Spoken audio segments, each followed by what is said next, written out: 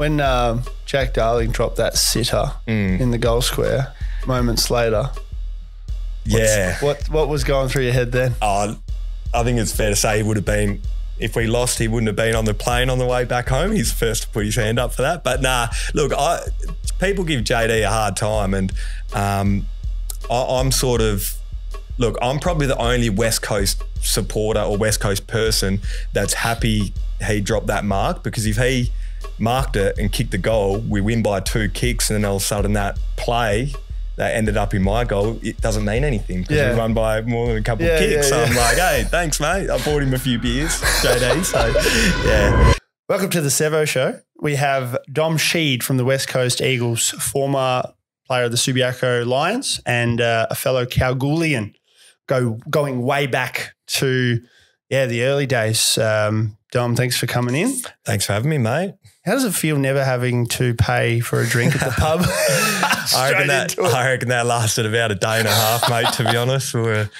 we were actually midway through celebrations two days after, and uh, I thought I'd see how long I could go without buying a beer. And then Chris Masten, fellow teammate, said, "Nah, mate, it's your round. Get get the fuck up. It's your round to buy a drink." So it lasted about a day and a half, mate. oh my god! So you uh, you're doing you, you've been kind of injured over the last kind of year or so. Um, uh, what have you been doing in the meantime? Mate, I was, yeah, it was a frustrating year for me because I um, did a full preseason and then I did my syndesmosis, needed surgery, um, returned to play, played one game and got stress fractures. So I got a little taste of coming back to AFL level and then I was done for the year. So, um, you know, I was just training to work back to play. And then when, when, um, when I got ruled out for the year, I was a bit sort of cooked. So, um, I went on my honeymoon to Europe. It was nice. Yeah, I saw that. So where did you go with what, what- what's what's the wife's name? Ah, Brooke. Brooke. Yeah. So so you and Brooke got married. Where did you get married?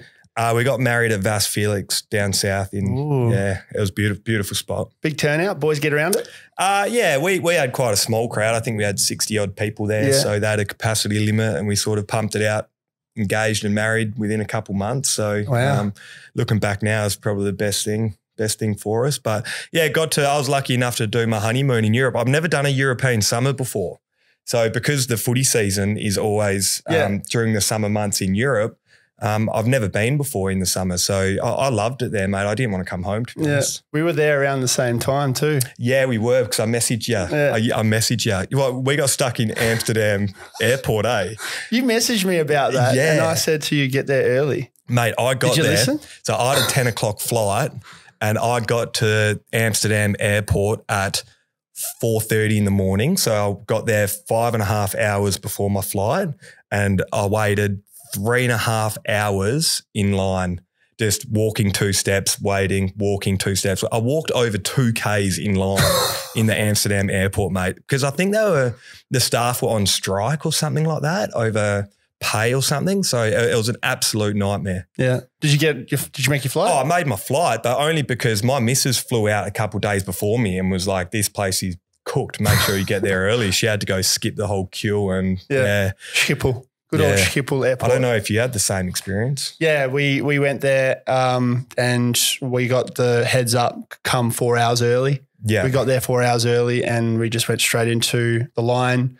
We waited for a bit and then we moved uh, like a snail. And then there'd, Yeah. there'd be the uh, the bags, you know, the, the X-ray section. yeah, Um, they locked it off because they didn't want it to be overwhelming for the workers. And then they kept us all like sheep, like the cattle. yeah, wow. And then they would release us uh, in increments. So it was a good system, but yeah, but like to be honest, three hours went not that like slowly. yeah, yeah. know? But yeah, where did you go um, in Europe? You went to you went to Holland or Netherlands? Yeah, I went to Amsterdam and then I went, I did London, I did Marseille, I did um, Cadiz, a small little town called Cadiz in Spain. And where else do we go? We did Paris as well, which was Nice. cool. So um, got a range of experiences and um, ate lots of good food and drank lots of good wine. So Spain was my favourite Yeah. in Cadiz. Yeah, beautiful spot. Yeah, did you bump into any Collingwood supporters? No, no, it was great. No, no one's a fan over there. It's nice. Yeah, it's great. I walk around and people just look at me because I'm tall. yeah, yeah, I know, Yeah. I know. I had a couple people Yeah. in Venice. Um, my last trip, just gone, um, recognized me though. Yeah, they're really. From Sydney, yeah. I'm just like, it's crazy. Worldwide, mate, you are. yeah, now. yeah, yeah, It's cool. but yeah, um, but yeah. So you're you're back now, and how's are you ready for the next preseason? What's Yeah. go? Yeah, absolutely. I'm sort of feel like I'm ready to get back to. I, I felt guilty because I felt like going into this off season, I didn't really deserve a break. Yeah. So I was sort of ready to get back into it straight away. But I've enjoyed some downtime and um, ankles all good now. So yeah, can't wait for the warmer months and preseason to kick off. So bit of a disappointing year last year for the boys, but you know everyone starts on zero points next year. So I think we're pretty keen to uh, get better. Yeah, yeah. Mm. Such a such a media trained answer. Yeah, I mean, but it's you know it's how it is. Like, love it. No, it's yeah, yeah, it's going to be a bit of a different looking club next year. We're not having JK there, and Yeah. all the senior blokes are another year older. We'll probably go hard at the draft and pick up six or seven blokes there. So it'll be quite a young list. So it'll be interesting to see how we go. Yeah, you picked up a couple from over east. Who are you excited to play with Um, coming in? Look, I- I'm excited to see Campbell Chesser. He, he'll be going into his second year next year. He was, I think, he was pick eleven, pick eleven last year, I think. But um, once again, he hurt his ankle like me, so he missed that his whole first year. So I- I'm looking forward to see what he can do because he was quite a high pick for us, and he looks like he's moving well at the moment. So Yeah. yeah, but there's plenty to look forward to. I think. Yeah. And what about your younger kind of doppelganger, Josh Rotham? What are your thoughts on him? Yeah, no, he, he's a, he goes all right, doesn't he? So are you, do you know him? Yeah, yeah. We grew him? up on the same street. Oh, there you go. Um, yeah, no, he's going well. I think hopefully he's in for a big year. You know, um, he's sort of um, a lot of the time been lacked opportunity through our backline being so strong. So, Yeah. um, you know, we'll, we'll see what happens this year with him. But you know, he's going to have to have another good preseason, I think. But I reckon he's ready to go. Yeah. Yeah. Mm. Who's your who's your toughest player that you play against? Well, across the AFL, um, Patrick Dangerfield is it was or was always difficult at a stoppage anyway. Um, he's like one ninety something centimeters and you know ninety something kilos. He's you can't even move him, so you have to try play him in a bit of a different way because he wants to feel your body, and you know the minute he touches your body, he's he can control you and put you where you want. So you sort of have to start off him, and then if you start off him, he'll just get the ball. So in terms of stoppage play, Patrick Dangerfield. But then around the ground, you've got blokes like uh, Miller, who I reckon's a gun, Dion Prestia. They just run so hard and so well. And especially offensively, they really test you out um, on that side of it. So, yeah, there's plenty of good players around the comp. They've all got their strengths for all different reasons, but they would be sort of the players which are hardest to play on, I reckon. Yeah. How how what is it like building that tank up of running? You you you go from amateur level to WAFL level to Mm. AFL level, and and then you have to get into that elite mindset. How do you get from just going through it and then having to probably yak Yeah. a couple times and then just you're just going up and down? How do you get to that point? It it, uh, it took me years to get to like an elite level, not an elite level, but um, you know, a level which is acceptable. So you know, you come out of um, you know, state 18s or junior levels, and the fitness and the speed, it just goes to a whole nother level um, at AFL level. And that took me years to get. Some people are very naturally fit who slip in quite well straight away, but I was never a bloke. I wasn't. I, was, I was, my fitness was okay. Didn't really have much speed, so I sort of just moped around, and that sort of doesn't cut it at AFL level. So I had to really work hard on building up my tank, and I did a lot of speed training just to get to a level where you know I'm still probably the slowest out there, but at least I don't look too silly. Um, so it takes years. I mean, I remember my first uh, 2K time trial was 648 when I first come to the club, which was okay. But then, um, you know, just slowly I've nudged that all the way down to sort of like 612. So um, I've worked hard on it. And, you know, a lot of these boys are, um, they've all got their different sorts of strengths. And, um, you know, my, my strength wasn't exactly running. So Jeez, I don't think I ever hit. I don't. I don't think I ever broke seven. Oh, really? Oh, well, you're a ruckman, mate. You don't need, you don't need to. Ask Nic Nat what, what he runs. He'd be over eight, I reckon. Yeah. Oh man. So um, backtracking to you mentioned state 18s. What was your journey like going into AFL? So you you well, let's actually go back to Kalgoorlie. Yeah. You're born in Kalgoorlie. Yeah. You're in a, you've got some Indigenous in you.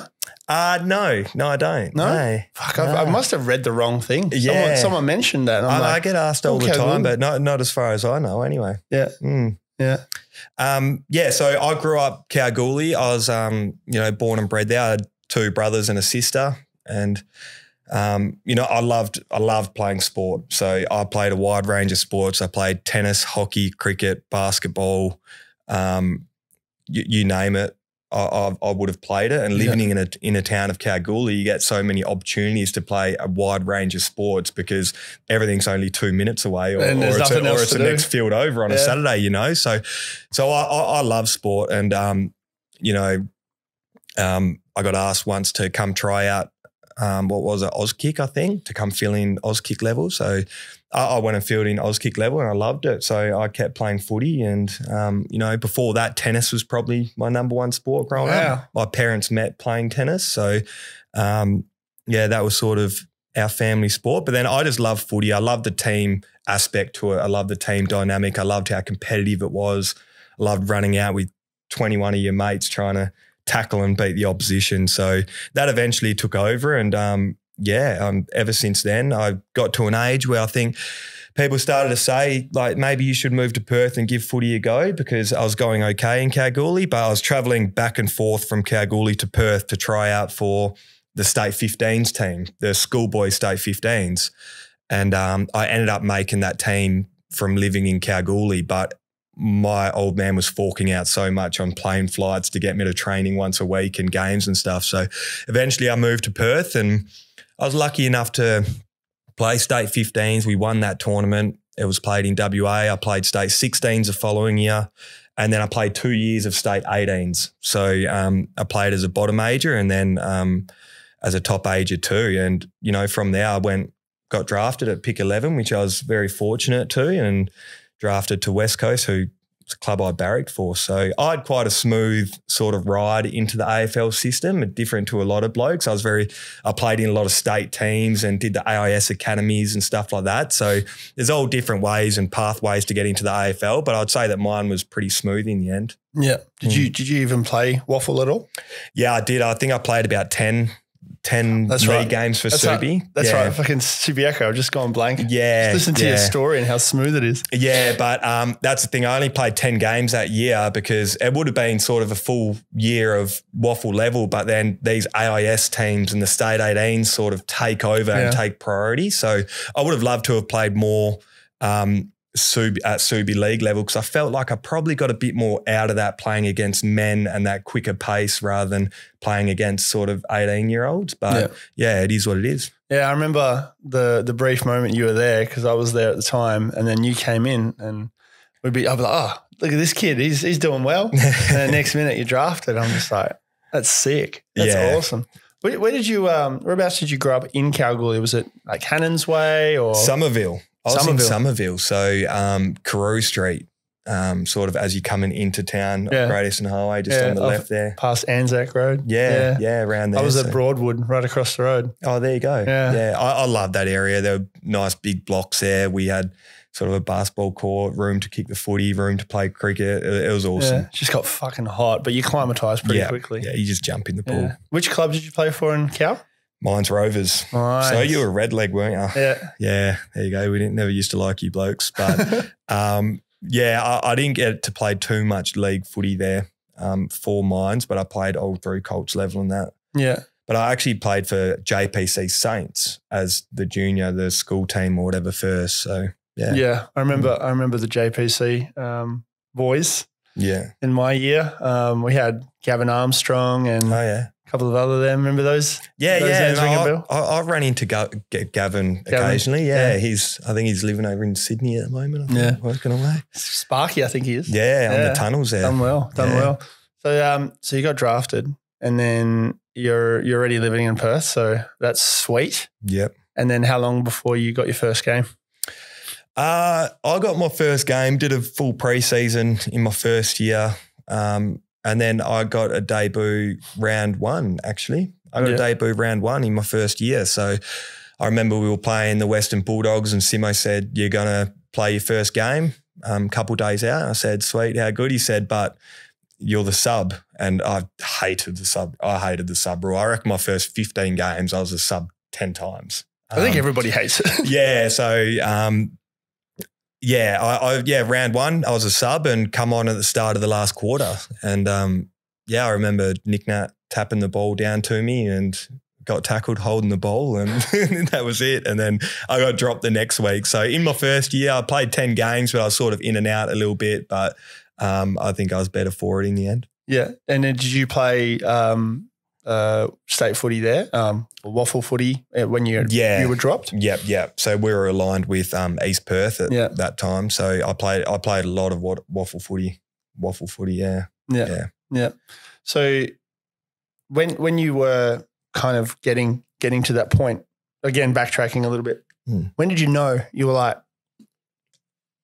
I have a chance. I have a chance. So you got you said you got told. yeah. I, I was, should give I it a go. Yeah, I was living in Kalgoorlie at the time, and um, you know, I was, I was thought I was playing good footy there, but Yeah. I just never knew. I never quite knew unless I moved to Perth how um, how I'd match up. You know, so Yeah. Um, but when I played, I think I probably thought that if I give it a real shot, I'm a chance of making AFL was when I made the state 15s team. Yeah. Yeah. So that was when I thought, hey, state 15s, I could, from here, I can make 16s, I can make 18s, and that's going to hopefully be the way that, Keep that, that momentum. Yeah, Yeah. yeah. So, um, yeah, I, th- I think around that age, Who, Yeah. who was your who was your favorite player growing up? I, I loved, I loved Chris Judd, Ben Cousins, Daniel Kerr, Dean Cox. So I was a mad West Coast supporter growing up. So watching them win the 06 flag and um, just the way that midfield operated, um, yeah, it was amazing. So that they were sort of my idols growing Yeah. up. Yeah. And um, when you when you got in, because you came in after McGovern did, right? Uh, memory? Yes. Yeah. And then and then did he take you in first, or because he's a Kalgoorlie boy as well? Uh, well, he didn't spend too much time in Kalgoorlie, um, but nah, he probably wasn't the one. Probably Chris Masten was the one that sort of took me under his wing, which was good. Um, we had a lot of good times together, and you know, he he taught me you have to train extremely hard. He taught me training standards, and it took him years to get to an elite level of training. Um, but he sort of took me under his wing and taught me that. So um, yeah, we're still good mates at the moment. It was sad to see him get a get the flick. Happens to the best of us. Yep, You got a premiership though, and we do. and and yeah, when that when that final siren went, um, I, I was actually in Europe this Oh, summer, yeah. and I was watching. I was I wasn't even watching it, but Mm. I had it on the phone, like the stats. And I was looking at it half time, and I'm like, oh well, that's that sucks. It's a bummer. It's a bummer. Yeah. And then I was like, all right, let, let's let's bring it up. Let's have a look, see where they're at. And then I'm like, fuck, like two and a half minutes to go. And then I was like, all right, I'll tune in the radio. And the first name I hear, Dom Sheed's taking the mark. And I'm like, oh, I know that guy. Ah, there you go. and then and then and then I'm just like kind of like just sitting there. Well, we're having breakfast Mm. in Delft in the Netherlands. And my and my wife's just like, oh, what's what's happening, you know? Mm. I'm like, oh, Dom's kicked the go ahead, you know, and then and then yeah, I had had a win, but um, you you you're going you're going um, through the motions, and uh, you had uh, all the boys are getting around each other. What was your um, what was your first kind of thought after the siren went? Like, obviously you won. yeah. What's next in that mindset? oh, um, you know, your body just sort of takes over with emotion. You don't know what to do. Yeah. So I think there's footage of me sort of jumping up and down, not really knowing what to do. Where there probably wasn't. And that we didn't win the game until that final siren. Like you look at last year's grand final, and the game was probably done at, you know, half time, three quarter time. So they've got an opportunity to sort of soak soak it up, soak up the crowd, enjoy it with your teammates. Whereas us, it was right up until the siren actually went. So when the when it went and you just realize it was like nobody knew what nobody knew what to do. Yeah. Nobody knew what to do. So it's just such a long year. You know, you start preseason in November and then you're playing a grand final on the last day in September. It's Yeah. it's such a long season. So um, you know, you're absolutely exhausted by the time Yeah. that final siren's done. When um, Jack Darling dropped that sitter Mm. in the goal square, moments later, Yeah. what what was going through your head then? Oh, I think it's fair to say he would have been.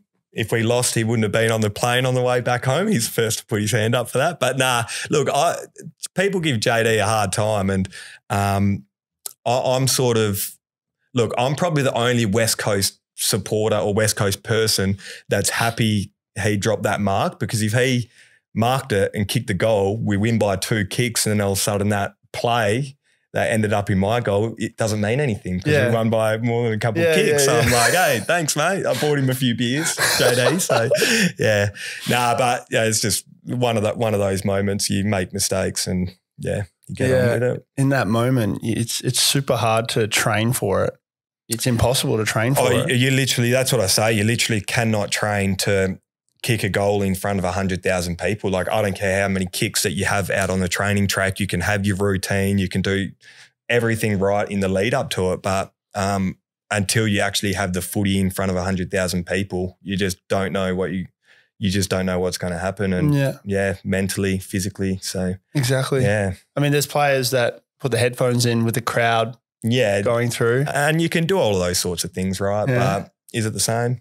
Yeah. What's Mm. your what's your like kind of uh, superstition uh, when you're training Um, I, or before a game day even? Yeah, look, I wouldn't say that I've got any superstitions. You know, bloke, blokes have them, but I think the best preparation is a flexible one. So, you know, if if something doesn't go your way that day, it doesn't really matter. You sort of adjust and just get on with it. So, Yeah. you know, blokes have weird ones like putting the left boot on first, or you know, no, you nobody's allowed to touch their boots, or I don't, I, just weird things. But I, I don't have any of that, mate. Who's got like a weird one that you can think of? Um, well, I'm pretty sure it's Yoey who you're not allowed to touch his boots pre-game or something like that. But yeah, weird. Have you given it a crack? And said, No, no, no, no. I don't want to wig him out because we need him. We need him to play well. um, um, what's been your biggest kind of setback? I mean, obviously you- your injury. Um, let's say let's go pre Premiership. yeah, You you've played your first game. You've had your first season in and out of the team, Mhm. and then uh, second season you're rolling a little bit more. What's been kind of the key element, the, the X factor in your career? Um, the X factor or the setbacks? What? Let's start with setbacks. Yeah. Um, look, my transition into the AFL was quite smooth in the end. Obviously, Mm. I had to move away from family and stuff, which was difficult. But, um, you know, when the hard work really started when I got into the AFL system. And I reckon I've been at the club for 10 seasons now. So for 10 years. And I reckon seven out of those 10 years, I've been dropped at least once in that year. So, um, you know, I've played 140 something games, but they haven't been consecutive. I've been in and out of the team. So, sort of dealing with playing WAFL and not being in form and coming in and out and trying to continue to get better and, you know, keep keep that focus on what you want to do and the confidence in, in Yeah. your ability. There's been plenty of times where in 2018, for example, the grand final year, I I got dropped three times that year. Three times that year. So here I am as a 24 year old in and out of the team thinking, am I even good enough to play AFL? Like, i- is, it, is it for me? So, you know, just dealing with those sorts of things and overcoming that have been sort of my biggest setbacks apart from injuries Yeah. themselves. So how how mentally do you how, how do you go through that mentally? Because I remember Monday night vision Mm, in the WAFL level, yeah. and I just be like, "Fuck, I did I didn't do that good that game. I'm going to get roasted here." Yeah. What about you? When you do you know you're going to get dropped, or is is Um, it sometimes a surprise? Or I, I, I've, I'm, I'm always sort of, I've always sort of expected it. I, I've thought I was one of those players who have always been three games off, three bad games away from being dropped. You know, that, that's why I've sort of, yeah, oh, not completely, just back to the WAFL. So I can probably get away with playing one bad game. I play two bad games. I'm, oh, shit. Three games, I'm dropped. You know, Yeah. I'm back to the WAFL. So, um, but you know, de- dealing with that, I think it's more so just um, coming back to one, footy's not the be all and end all, um, and secondly is you've you've got to you've got to be able to take feedback in those meetings, and you've got to be open minded, and um, you've got to be willing to to learn and put your hand up when when you haven't been good enough. But also above all, I think it's just um, I call it the balance wave. Have you heard of that?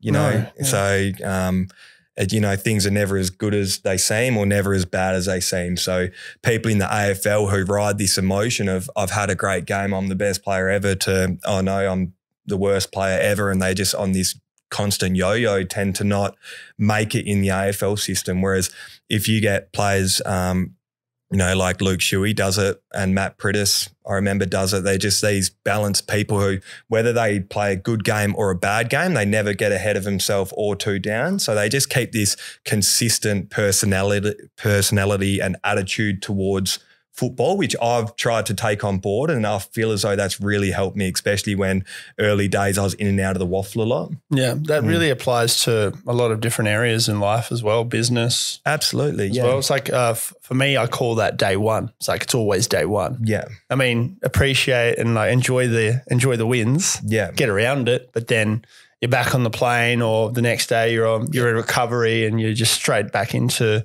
all right, thinking about the next week. Absolutely. And, uh, Absolutely. When you are dropped, what is, how do you get back into it? In terms of? In terms of the side? You just, you've got to go back and do what the coaches have asked, whether that's, you know, skills, better GPS running wise, better defensively. You just got to do what your coaches ask of you and, um, you know, apply that at a lower level and string together a few good games. Yeah. Yeah. Yeah. yeah. And what's been like a, a long, the longest stint whilst you're being a listed player of you outside? Um, I played probably half a season, I reckon, in my third year. Yeah. Half a season in the WAFL straight. Yeah. Yeah. yeah. What did that feel like for your kind of? Yeah. Oh, hard. But once again, you just go back to, hey, it's not the be all and end all. It's yeah. not as bad as it seems. You know, let's just play some good footy and enjoy it. And I find that um, when I've played my worst footy in my career, it's always because I haven't really quite been enjoying football. So I guess I really just try to get back to, hey, go out there. You play foot. You played footy as a kid because I loved it and I had yeah. lots of fun, and that's what got me to this point. So I've got to always, whatever I do, just continue enjoy what I'm doing. So when yeah. I took the pressure of performing out of it and just said, let's go have fun, um, that's when I started playing you know, a lot better and um, building momentum through the WAFL and those weeks yeah. to just have fun playing WAFL and string together some good games in the end. So you're you're saying it's not the be all end all, um, but you haven't had a job in a in a mm, while yeah. outside of footy. Footy's you, a job. What you, yeah, well, yeah, exactly. Uh, the uh, the uh, the basic jobs, yeah, the yeah. non-sportsman job. What do you think you'd be doing right now if you didn't pick up the ball, the footy at um, I'd, I'd be Sparky, I think. So yeah, my my old man has an electrical business. He's had it for over thirty years, and my brother Alex, you know Alex, Alex my brother Alex Sheed. Alex Sheed. Yeah, he, he was at Sheed, yeah course. he was at Subi when you were there, I think. And I'm trying to remember. Um, yeah, so that we run a family Sparky business, and um, you know that's what I'd be doing. Yeah, mm. has it moved over to Perth yet, or is it still yeah, a Cow Perth, branch? Perth and Kalgoorlie branch. Oh, yeah. So yeah, uh, it's nice. Yeah, what's it called? Give it a plug. Sheed Electrical. I've got the hat on, mate. Oh, there it is. Yeah, there. can't see it from this side. yeah. yeah. So um, I remember when I moved to Perth, I went and told my old man that I wanted to move to Perth to give footy a crack, and obviously he was a um, gave me every opportunity to do what I wanted to do. And I went and told my brother Alex, who I'm super close to, he's a year older than me, um, that I'm moving to Perth to play footy. And um, we were living in Cowell at the time. And he said, Oh, right, all right, well, I'm going to have to come with you, aren't I? So he moved to Perth, him and I together. And then he started up the Sheed Electrical branch in Perth and yeah. sort of gone from there. It's been around for about 10 years now here. Yeah. Mm. So when, when you did move to Perth, you were doing something along yeah, I, I, was mid halfway through a Sparky apprenticeship. Yeah. yeah. So I, I was um, yeah. twisting wires at the time. So that's something that you're probably looking into when the day comes. Yeah. Yeah. I mean, I'd say I wouldn't want to be uh, crawling through roof spaces at age 30 or 35, but, um, you know, being in the business management side of the business yeah, um, is off the some, tools. Yeah, is something that I'm more interested in for yeah. sure. What about um, invo- keeping yourself involved with the club on a coaching level or anything like that? Um, look, I, I, sort of haven't ruled that out, but I sort of always told myself that once I was finished um, playing AFL, that was sort of I was happy to get out of that industry and um, and do something different. I don't yeah. think co- I don't think um, coaching is something which right now really interests me. Yeah. Mm. Do you have um, other future kind of aspirations in terms of?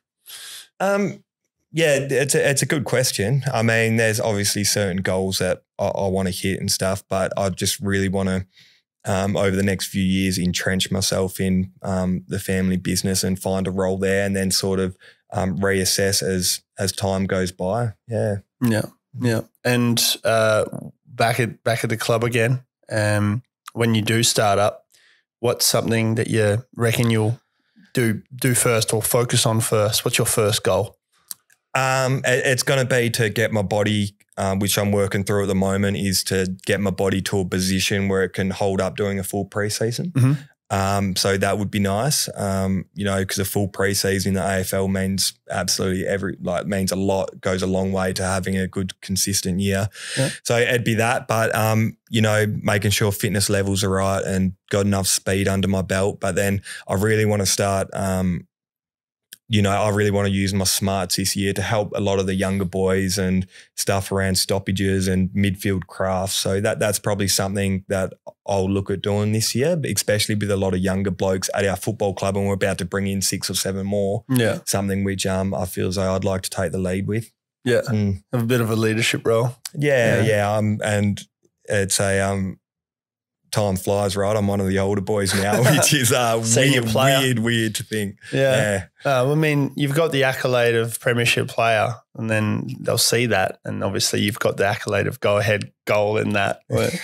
But, um, yeah, no, it's just, it's, it's a bunch of respect. It's about respect.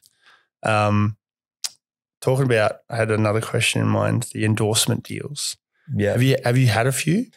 Uh, yeah, a few little ones here and there, but um, you know, you get, you know, your big endorsement deals go sort of to your Nic Nats, your Yeah, yeah. Paddy Cripps, your Paddy Dangerfields. Yeah, you know, yeah. y- y- your big dogs. There's probably a um, bunch of, you know, 10, 20 blokes in the AFL who get the real big endorsement deals, but you know, I'm signed. Um, I'm signed up with ASICS and a few little things on the side, but nothing, nothing major. If you could choose any brand to do a kind of Mm. endorsement deal with anywhere in the world, what would it be?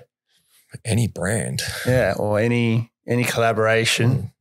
Dom Sheed, Asics, or yeah, Dom wow. Sheed Vans. um, mate, I haven't really, I haven't really thought about it. What would be yours? Do you have one in mind? Oh, it depends on um, where they're at with integrity and all that sustainability, and and because there's a lot of fluff about it. Yeah. Um, I mean, Nike would be cool, Yeah, um, but oh dear, um, I need I did a Pentanet thing that was cool. Oh yeah, Um, yeah. I was on the buses and billboards and stuff. Did Yeah. you see that? Uh, I, I saw your head everywhere on the back of those buses, mate. Um, I- um, owner of that business is a good bloke, isn't he? Steve Cornish. yeah, Yeah, yeah. he's a good fella. yeah. Um, no, but that's a good question. Um, mate, that's something I'll go away and have a bit of a think about. I reckon. Yeah, yeah. Maybe Bully, Bully. Butcher if you can get me Yeah. on board, mate.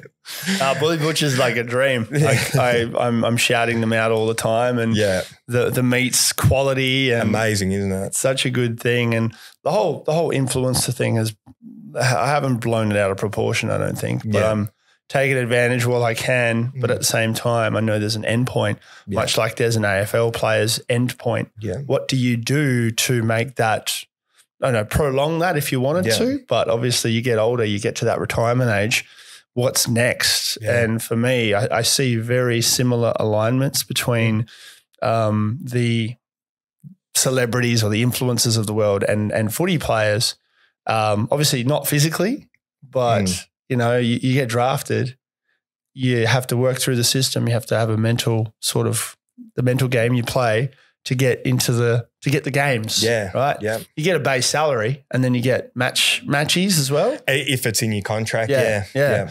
And then with influencers, you know, you get a you get a, a gig here and Mm. there. You may be good for two, three years, but then you just spat out. Like, Yeah. we're going to go with someone else. yeah. There you go. And, And- um, yeah. But you, you, you're you're you're not in the WAFL phase anymore, are you? You're in the AFL. You've broken through that barrier, have you? I don't, I, I don't know how I rank that. I think I'm definitely more national now. Obviously, yeah, being recognised where, wherever I go. Um, definitely more recognised when when I was um, more than when I was in the WAFL. yeah, But um, I'm noticing that the kids nowadays, they're unless they're fully obsessed with AFL, Yeah. they don't really care. Yeah. They they they notice more of the people on their on their Um, phones. yeah, no, absolutely. You know? Um, yeah, the kids are glued to their phones these days, aren't they? So, Yeah. Yeah. but it's like it's the what they watch. That's Yeah, what I want to help with. Yeah. So yeah, but um, are your uh, you, you mentioned your missus. She's on uh, on the TikTok all the time. loves it. Um, surely she knows me. She seen me on the Uh, screen. yeah, so I actually told her, I said, I'm going on the Sevo, um, Sevo show tomorrow. And um, she goes, Who's that? And um, I explained, and um, he she was actually like, sort of stopped me and was like, Hold on. No, I've seen, I've seen him somewhere. Is he on TikTok? I was like, I was like, yeah, yeah, I'm pretty sure he's big on TikTok. And she got up a few of your TikToks and stuff like that. But I, um, I personally don't have TikTok, but she's, Yeah. um, she loves it. She flicks through all the times. Um, so what she does, she might get one good video in every 50 she watches, and then that's the one she'll forward to me. So I'll Yeah. let her sift through the garbage. She's your filter? she's my filter. Uh, what about like you've got you're on Instagram as well. Um, you're you're watching my stories, which is cool. Um, do you do the reels at all? Do you watch? Do you get sucked in in that? I, I do. Yeah, yeah, yeah. Yeah? Yeah, I, I, I watch the reels. So, What's your What's your general theme? If you opened up your discovery page right now, what would it be on? mate, I look to be honest, a, a lot of a lot of cooking and a lot of golf. Really? Yeah, so I follow a lot of cooking pages and stuff like that. So there's golf, Oh yeah. There's golf. Oh yes. um, a lot of the Point Formula that, One point stuff. that to the camera. Yeah. um, but yeah, and right now it's a um, lot of NBA stuff popping up. But I love watching the cooking reels. yeah. I'm really interested in them. Like, have you have you seen a guy called Chebbo? Chebbo's Burgers. No, I highly recommend you you, you go There you to go. him. He loves his burgers. Dude. Alright. Um, kid Chebbo. over in the uh, yeah Chebbo C H E B B O from Chebbo. Sydney. Great great guy. He's got he's got some he's got a wicked following, and um, yeah, I'll definitely get him on Oh, the. Chebbo Burgers. Che- yeah, there dude, he, he's Give making some cracker. He's go. making some cracker videos. Yeah, cool. Um, but yeah, what, what got you into cooking? That's cool. Mate, I yeah, I love cooking. I do cook most nights and love trialing a few different things and that. But I think because I moved out of home at age 15 and moved out with my brother, um, I had to learn how to cook because I had to I had to eat food. So um, you know, a lot of people these days are moving out of home at I don't know 19, 20, 21 or whatever, but I was 15 so I had to learn to sort of fend for myself and just over the years just eventually gained an interest in it and become more confident and yeah. So you cook uh, your pre-game meals as well. Yeah, Cool. yeah, I- I'll cook all of that. So, What's your um, What's your go-to pre-game meal you cook for yourself? Um, well, there's probably you know my my favorite's probably like the traditional carbonara. Very Yeah. easy to do. It's five Yeah. ingredients. Um, you know, with your guanciale and yeah, it's beautiful. But um, all sorts of pastas. I love to cook. I love to sort of smoke a lot of meats as well. So that's where Nate that You're not even thirty yet. You're not allowed. you Yeah, I love know. golf. You love cooking. You love smoking Yeah, meat. I know. I, not I even feel like 30, an, mate. I feel like an old man. I need new. I need new hobbies, mate. But um, you like mowing the lawn as well? You like keeping the, the lawn fresh? yeah, I, I, I do. I do. Not- I do. you're in your thirties I already. know, but um, yeah, I know. I'm an old man at the moment. I saw on Instagram there was like the the dad um pack or whatever, and it was like mowing the lawn, barbecuing. Yeah, yeah, that's it. Like, yeah, no, I'd tick like three of the four Yeah. boxes. I was like, oh no. Yeah, I'm definitely. I'm definitely. I'm not, I'm not really a f- big fan of golf. I hmm. like. I do watch the golf stuff, yeah, but I fucking cooked it. yeah. I'm so shit, and I get frustrated so quickly uh, as well. Um, it's not. It's not my game. Well, I, I used to get frustrated as well, but then I go back to once again, why am I playing golf? I'm playing it to have fun. Yeah. Hey, don't get frustrated. I like It's going to the driving range. Wem- Yeah. Wembley driving range Yeah. is elite, Yeah, yeah, it's and great. then go for there. But, uh, Mm. but yeah, um, when, when you did when you did go and start cooking for yourself, what was your go to meal then? I- it was sta- strictly it was steak with no seasoning on it, and then um, and then boiled veggies. Oh yeah, Yeah, so fry that egg. yeah, like nah, not not quite like you, but um, yeah, just yeah, shocking, but just o- over time. Yeah, I just go bit- hard on the meat now. Yeah. Like it's been serving me well. I, I avoid. I try to avoid the the heavy carbs because the meat's doing me wonders. Yeah, I did keto actually for um when I was, I think it was when I was at West Perth, Yeah. and I was really strict on it. Yeah. And when I first started, it was fucked. Yeah. But then it, it, I just hit like a this point, and it was just I was just on. Um, so what? Are you still doing the keto diet? No, no, No, I'm not so- doing any diet at the moment. Just trying to go heavy meat. Yeah, as Yeah. much as I can. There's Yeah. no like it's it's really hard to socialize on a on a strict sort of thing Yeah. when you're a, when you're a player. Because I remember when when I was at Subi, um, I I'd quit drinking completely Yeah. for like two years, and I saw a big difference. Yeah. And then when I went to West Perth, I was like, all right, how can I get my energy levels up? Yeah. Because I'm like super pumped before a game, and then um, first second quarter in, I'm like lapsing, Yeah. and like guys are taking no dos. Yeah. Yeah. or like some some like weird potions and Yeah. shit. Yeah. And then I'm just like, what the fuck? How can I get the edge for myself? Yeah. And then yeah, keto was for me. Oh, there you go. And then I was pretty depleted at the end of the game. And then I'd have that one sugar rush, like the can of Coke at the end of the game Bang. or the Powerade. yeah, Yeah. fuck. But Yeah. yeah, so um, yeah, you're you're 27 now. Mm. Yeah, and you you're yeah you love your cooking, you love your golf, you've got a wife, kids, thoughts.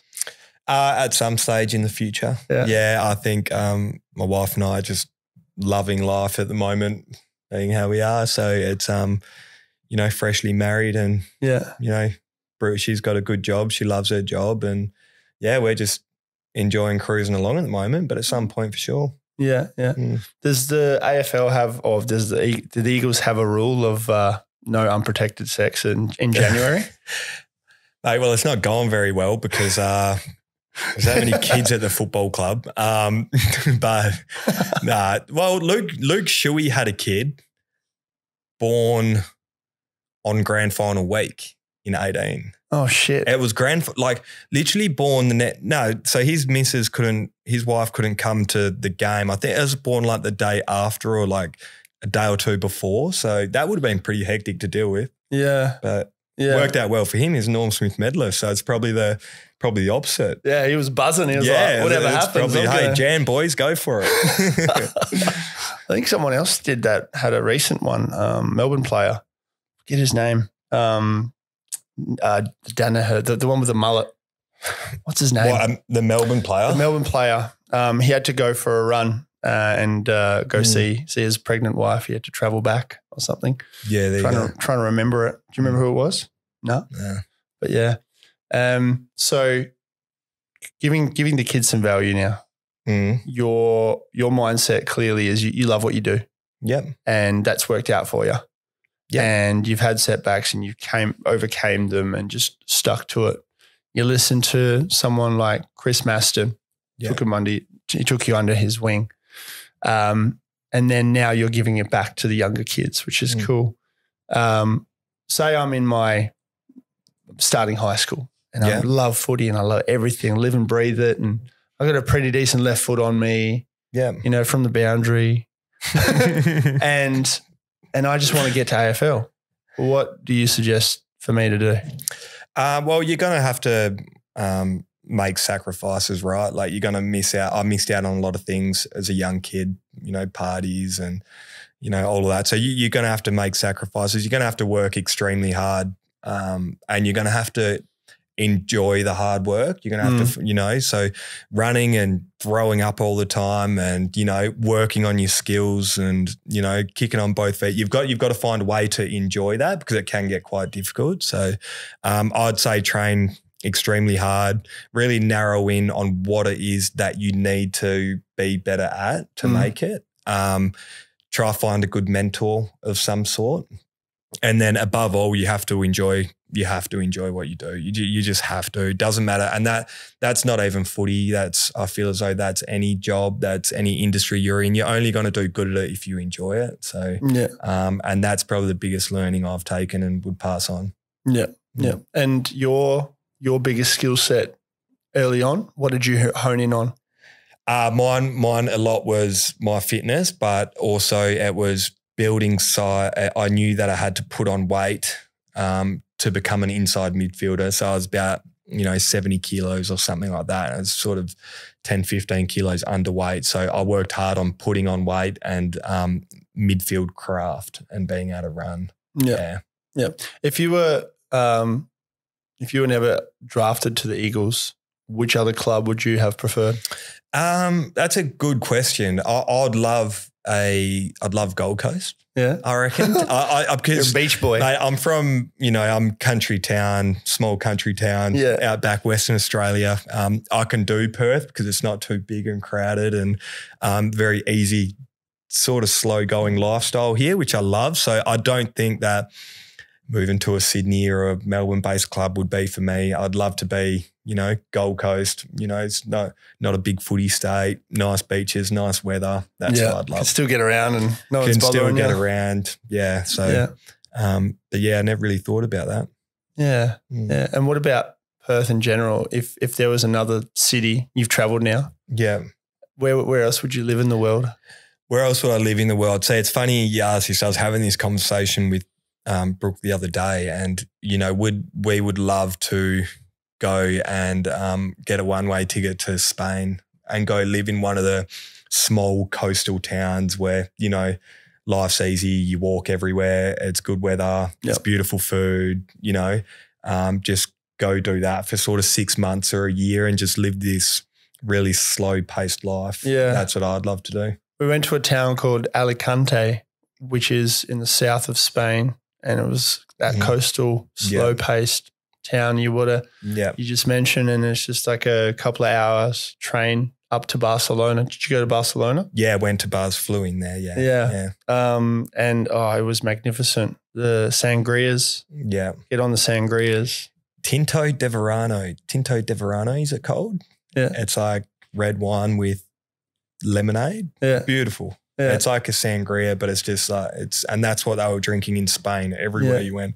Sun goes down at 10:30 at night. Oh. Then you got like amazing. A siesta in the middle of the day. yeah. My my kind of life. Uh, That, yeah, it was it was unusual at the start, but then I was like, no, this is great. It's great. Have a big feed in the morning and Days are so long. pass out. Mm. Yeah, yeah. Yeah. So you're are you? Where would you live in the world? I, where would I was live? Oh, I'd go to Netherlands. Netherlands. yeah, Where, where my wife's from. It's Yeah. gorgeous there and everything's accessible. And I mean, I wouldn't mind Spain either. yeah. Um, but yeah, anywhere in Europe that has a decent healthcare system, yeah. I'm pretty stoked with. Yeah. But um, the Netherlands have very high tax. Oh, I do. And yeah, you don't, yeah, you, you just get by. Yeah. And, and that's enough, yeah. you know. But Yeah. um, yeah, uh, Netherlands for me.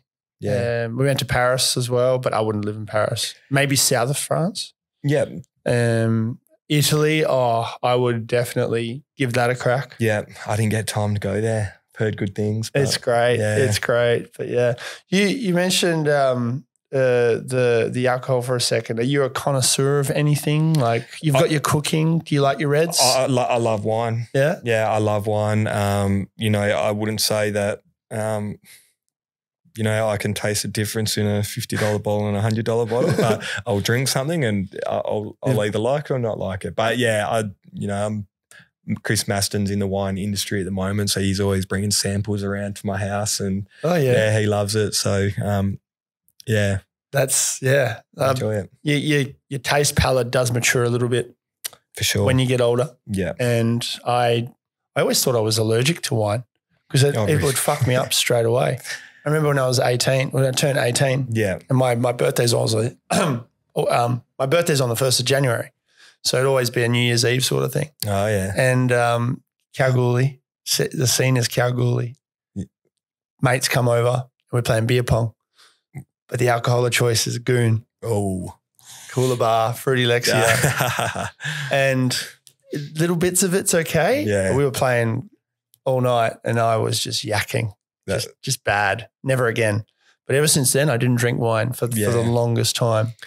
See, I think you only need a bad experience on a, a one bad experience on a certain drink, and it turns you off it. Yeah. So mine was Carlton Dry, Yeah. the beer, and um, you know, massive night on that, and yeah, took it too far, and then now just can't like can't drink Carlton Dry. Yeah. Like, I li- li- like all other beers, but I think you only need that one experience. And Yeah, mine yeah. was my first beer that I had experience with in Kalgoorlie. Ted's, two Oh, extra yeah. dry yeah, in the in the railways uh, club rooms. yeah, Never again. yeah, And then um, beer in general, I was off it for years. yeah. because we had uh, rookie day at Subiaco. Oh yeah, yeah, That's fucked. And then Yeah. and then after like the the footy trips, yeah. the footy trips. Oh, I was I was off I was off wine and I was off beer. Well, so doesn't the, leave you with much. no, because I, I started drinking ciders. Yeah, and then and then Jackson Coke was a good one, and then any any spirits mixed in. yeah, But then I just felt like a teenage girl drinking all the time like that. But then at 26, um, I got a red wine bottle of wine gifted to me, and I'm like, I'll give it a go. yeah. Loved it. Done. I was like, what the fuck? Yeah. And then, Miss- but white wine, no, Oh really? still fucks me up. Yeah. It gives me a headache instantly. Yeah. So I love, uh, I like white wine. I think, I think people give white wine a bit of a, um, bit of a hard time because you go to all of these events, right? And you big, you know, bowls or whatever, and you drink white wine and you drink in the house white wine, which is obviously very sort of cheap, Yeah. headachy sort of, it's a hangover in a glass. But if you drink like a nice bottle of white wine, um, that's just as good as a nice bottle of red, I think. Do you have a go to? Oh, I like to try all different things. I'm right into a lot of the natural stuff at the moment, a lot of the Yeah. natural wines. So yeah, we drink a fair Or the organic stuff? Yeah, a lot of the organic stuff. There's a lot of um, people down south, Margaret River Way, doing a lot of cool things with like biodynamic and Yeah. organic and stuff. Maybe So- that's your endorsement deal. well, hey, who knows? But um, yeah, so but I like to try a lot of different things, right? Yeah, Yeah, I'm open to anything. for sure. Have you Mm. been to um, the States? Yes, I have. Did you go to Napa Valley?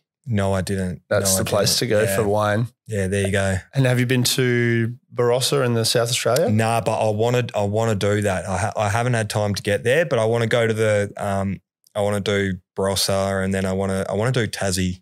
Yeah. Oh, to do Tasmania. I'm there later Mm, in the in the month again. there you go. Tassie's great. Yeah, Tassie's amazing. Everyone shits on Tassie because everyone's inbred, yeah, yeah.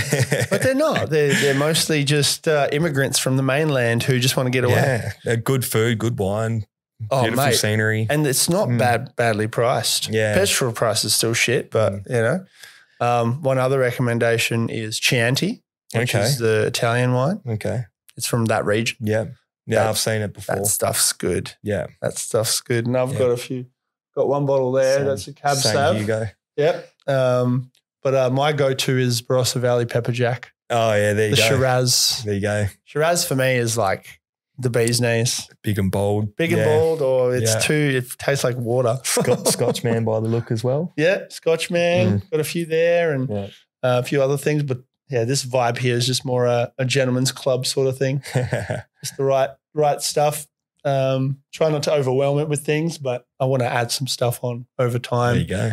the gold and black.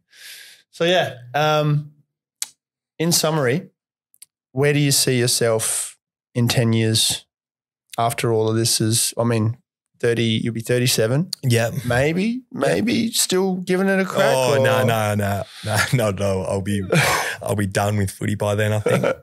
Um, you'll be you'll be a sparky. You'll be uh, yeah, hopefully, um, hopefully, sort of got a family and stuff by then, and still in Perth, um, and yeah, in, enjoying life, working as a, um, as a sparky or anything else really. have some kids. yeah, travel some more and enjoy travel it. some more as well. Yeah, Yeah, yeah, I might might cash in on my one way ticket to Spain then Yeah, around that time. Yeah. But Yeah. no, it looks like you're loving life and it's great. It's good to see. And every time I'm watching the footy, which is very rare now, Mm. um, I don't have, I really don't have time.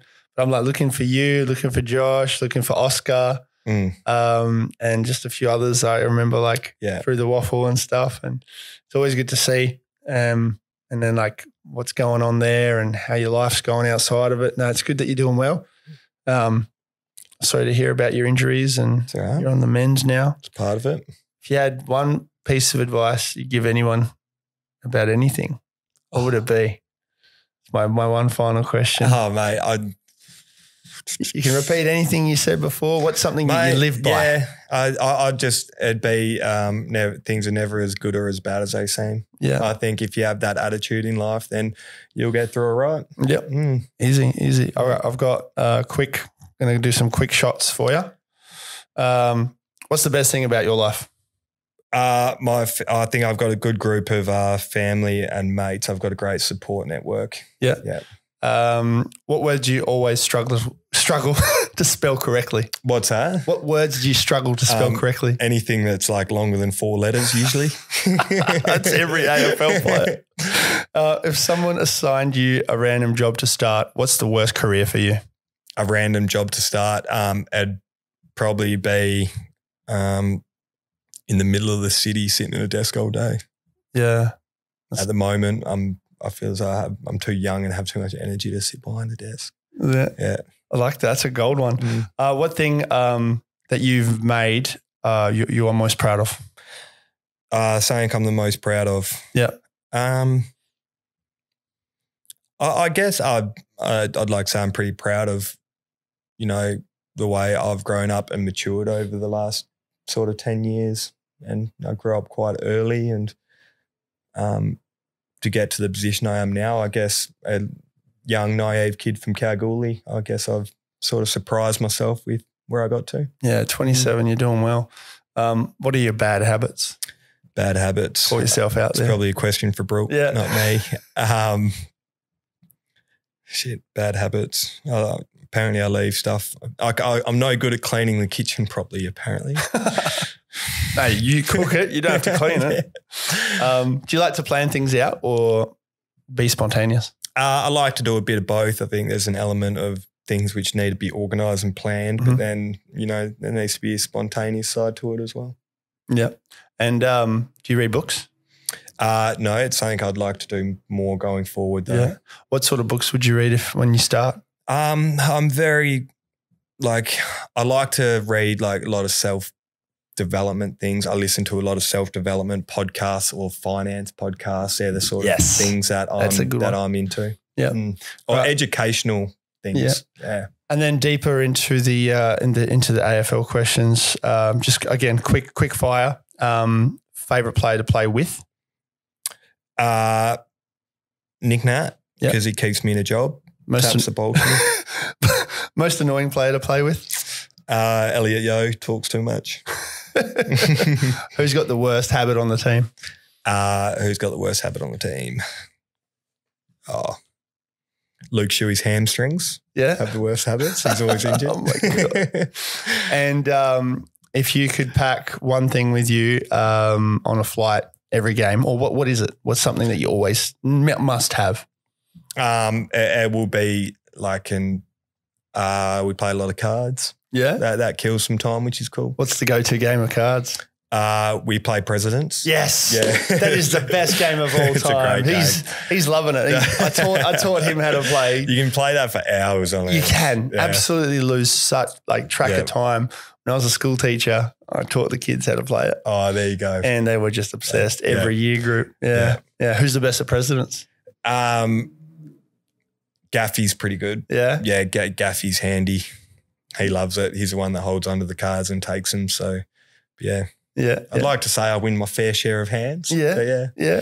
I just never get dealt a good hand. I'm gonna say my wife destroys me. Oh, She really? kills me at it. She absolutely go. destroys me. And uh, video games. Nah, I've never been a video gamer. I've never. No, No, I remember living in Kalgoorlie. I had Tony Hawk Pro Skater 2, and that was about the last time I picked up a remote. Easy, Yeah, easy. yeah. Well, thanks for coming in, Dom. And uh, it's been good to catch up and uh, yeah, see where you're at. And Mm. yeah, I mean, you're, you're doing super well. The wife, having a wife now, having that, having that broke a few hearts, maybe, maybe. you're always wearing a hat. How's the hair going? Uh, balding. Balding? Yeah, yeah. And just embrace it. Yeah, just embrace it. Yeah, just Yeah. embrace it. Yeah, definitely not Josh Rotham now. You. Nah, nah, no way. but that's all right.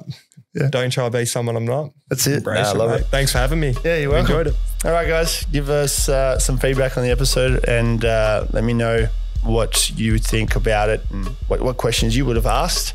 I'll forward it to him, and Dom will probably not reply for a few weeks because his preseason's about to start. But yeah, as always, good thanks.